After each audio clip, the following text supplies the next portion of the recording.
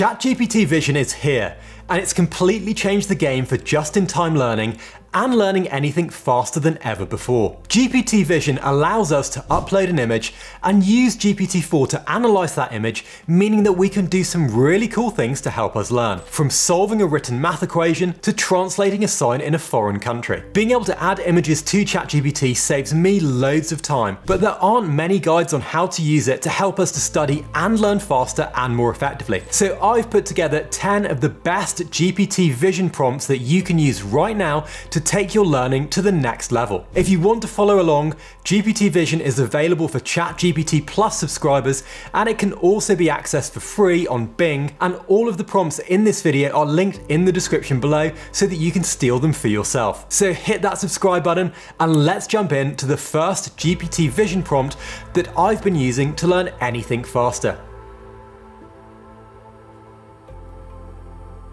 When we first come across a new diagram in a book, it can take time to figure out exactly what it means and to deepen our understanding and expand our wider context. For example, this image of the brain is pretty meaningless unless I spend time understanding more about each of the label structures so that I then have context around what we're learning. With GPT-4 Vision, we can now massively reduce this time by simply uploading the image to ChatGPT and using a prompt like this one. Explain this image to me in simple terms that I can understand and provide wider context to the label structures.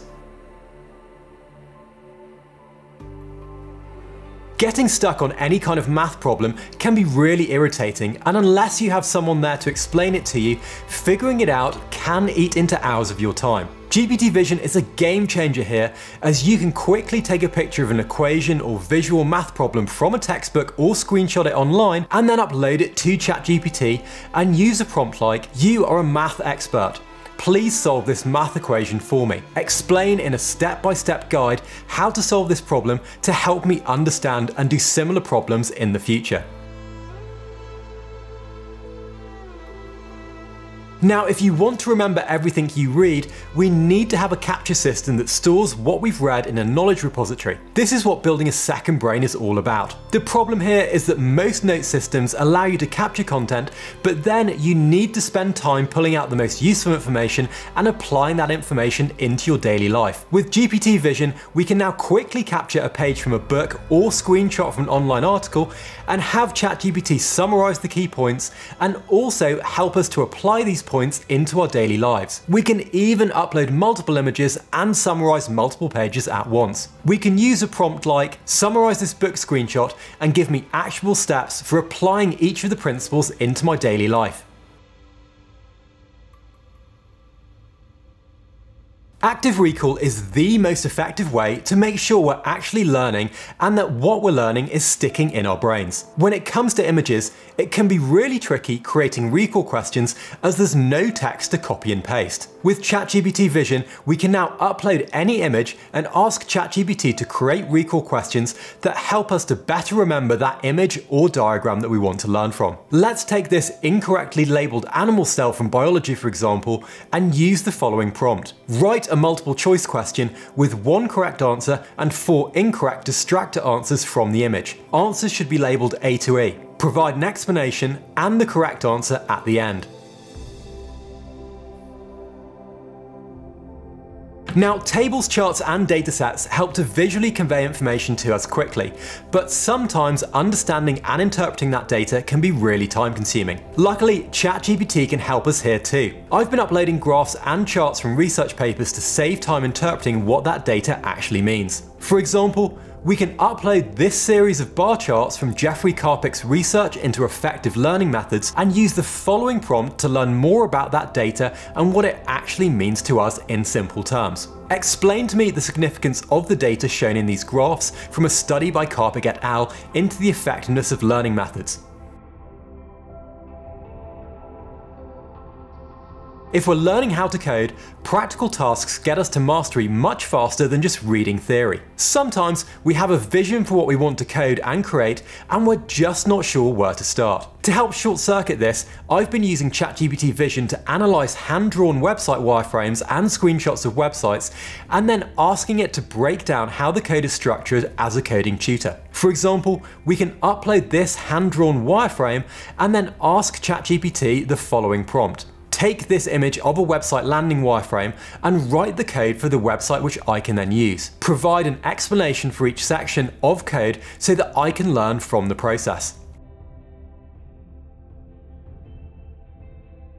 Now, while deliberate study sessions are necessary for learning, sometimes we want to learn things in the moment. This is called just-in-time learning, and it's a really effective way to learn as we're already curious about a topic and we actively want to know more. For example, if I'm on holiday in somewhere like Spain, I'll want to understand what a street sign might say, not just because it helps me to navigate, but also because it actually helps me to learn Spanish. With ChatGPT, we can take a picture on our phones and then have GPT Vision translate in real time. And this works great if you like learning a new language from a book too, as you can upload and then have ChatGPT act as a language tutor using screenshots of the book in a foreign language. For example, we can upload a photo of a Japanese street sign and then use the prompt, translate this sign into English.